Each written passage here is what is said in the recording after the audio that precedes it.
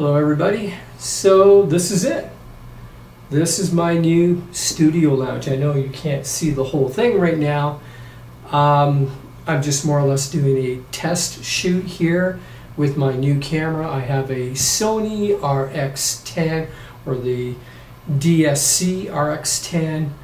Uh, this thing is, this camera terrifies me, honestly. I'm not a techie kind of person. I'm not a expert photographer and I bought a camera that's way out of my league. And so, you know, I'm just getting used to all the different features. Right now, I've just put it on auto mode, so it's doing all the adjustments automatically. But uh, I'm learning also how to get. I'm trying to get familiar with all the, the the custom features as well, the manual stuff because there's so much in the Sony camera. It's just unbelievable. This is going to take me months to just figure out and, and figure out what's really useful for doing videos. Um, here, let me just introduce you to Jerry here. Uh, see his head box like that. Say hello, Jerry. Hello, guys. I don't know if that's how his voice is going to sound in the future, but Jerry is my alter ego. Uh, he's going to help me out do future videos.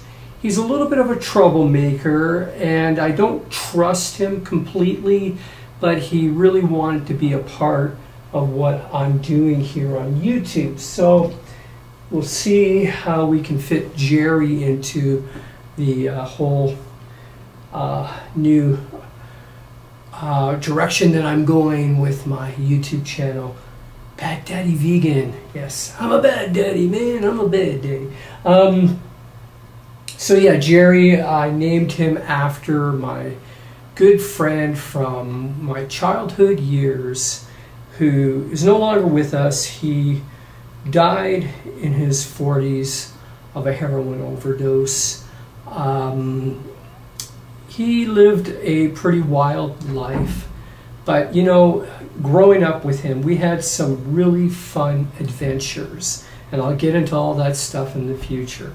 Um, and so I have a lot of fond memories um, with times that I had spent with Jerry. Unfortunately, he just knew no limits. And uh, anyhow, so um, I have another chair over here, just like this one and um, I would like to do. Um, I'd like to have people in here and, and, do collaboratives, do interviews. So if you live in the Toronto area and you think you've got something interesting that you would like to share, you might already have a YouTube channel. You're more than welcome. You know, give contact me. Um, send me a message. You know, um, you can message me on Facebook. Go to my um, David Kelly, basically. Um, uh, search David Kelly on Facebook. I'll, I'll leave my Facebook link uh, in below. I actually have a Bad Daddy. You can also go to Bad Daddy Vegan on Facebook. You'll find me under that name as well. And uh, you can message me and we can set up a date to do something here. Uh, I've already got, um, we, we don't have a date set up, but the vegetable police will definitely be um, doing a collaborative with me in here. He's helped me out a lot with the technical stuff, and uh, it's this has been a lot of fun putting all putting all this together. Like you can't see the, the lighting that I have set up. Um, I got a couple of LCD lights with. Uh, well, you know, maybe one day I'll, what I'll do is I'll just do a tour of the lounge, and and you know this is my bedroom as well. Like I really just redecorated everything. I, I've been busy, just you know doing the whole Martha Stewart thing in here, and uh, you know even the artwork behind me, if if you can call that artwork, um, I did myself. And there's a lot of versatility in this room. Like behind me here is a a nice big blank wall. So if I want to do a, a stand-up video um, with just the blank wall behind me and, and then have maybe a different kind of mood uh, set, I can do that. I could also put different colored sheets on the wall, again to uh, give a different ambiance to you know depending on what the subject is and uh, you know what I'm what the video is about basically. So um, yeah, I think I don't know if I have anything really. I, I don't have anything planned to talk about. Actually, you know what? Let me just get into a little bit of controversy here for the fun of it, okay? So, um, Freelee the Banana Girl um, came to my attention, and I looked, checked out this video that she did on uh, Nicole Arbour's recent controversial video, Dear Fat People. And, you know, this video, you know, Nicole Arbour, if you're not familiar with her, she's a comedian, she does satire, and um, she loves attacking anything that's politically correctly sensitive. And so she did this whole thing on fat shaming, how it's not a thing. And of course, you know, boy, did she stir the pot on that one. But it's really, you know, made her video go viral. And I mean, she's even done uh, TV interviews and, you know, the whole nine yards. She's got the whole, all the media coverage you can imagine. Anyways, Freelee, um, her followers requested that, you know, Freelee put her two cents worth in. And so I looked at Freelee's video and, you know, Freelee, what can I say?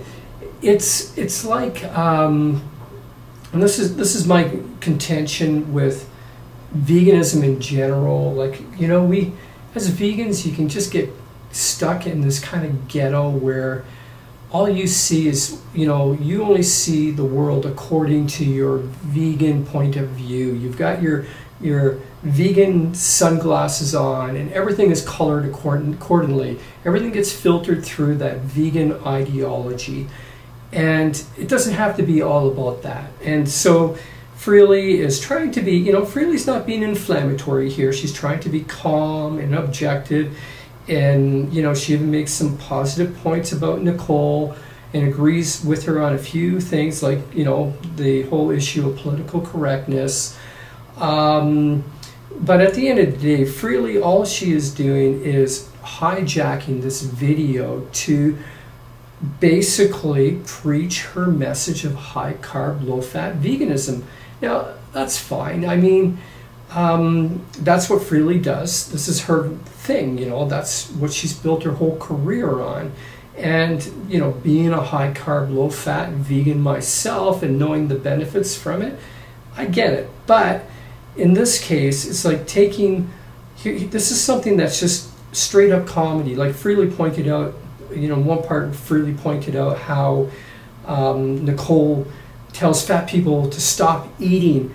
And she's, and, and then, you know, Freelee responds like, how can she even be allowed on YouTube?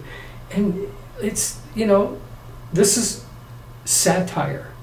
Uh, Nicole is playing a character She's a comedian. She makes fun of people, not just fat people, but everybody. And and she will definitely anything that is considered politically correct, she's gonna she's gonna have she's gonna do some kind of satire about it because well, she's a comedian. That's what she does. And that's you know, that's really the extent of all of this. And and yet everybody's in this great uproar because she is you know, done this uh, comic strip on fat people, and you know, everybody's oh, like it's the end of the world. Like, I know you. you com- comedians are artists, basically. So I guess I, I, I kind of relate to where Nicole is coming from as an artist. You know, you cannot allow people's sensitivities towards certain topics to dictate your content the moment you do that, you become lame. And so, but anyways, Freelee here, she doesn't really, I don't think she really even cares about all that. She just uses this controversy, she hijacks this controversy that Nicole has found herself in and has just used it to promote her own message, her own agenda.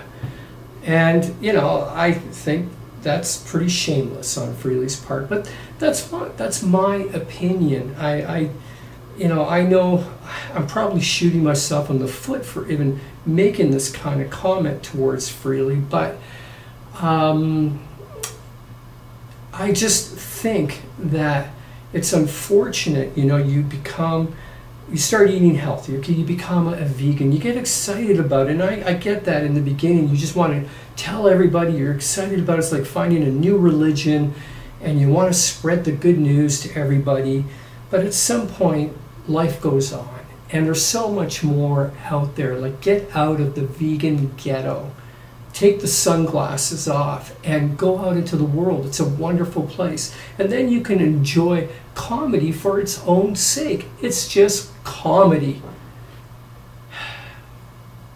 Anyhow, how's this how's the quality of this video? How's my voice? I've got an external mic on my camera. Um, and I'm hoping that that will suffice. I might have to use other alternatives like having uh, mics that you pin up on your neck. But you know, I'm dealing one thing at a time here. It took me a while just to learn how to turn this camera on. Actually, that's kind of the story of my whole life is learning how to turn things on. Anyways, um, thank you. If you're still here watching this video, thank you very much. Um, and stay tuned. Lots of fun stuff coming up ahead.